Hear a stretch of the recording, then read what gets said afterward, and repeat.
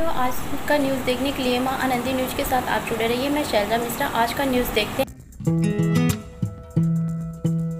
The biggest dance platform of Dance of Fire.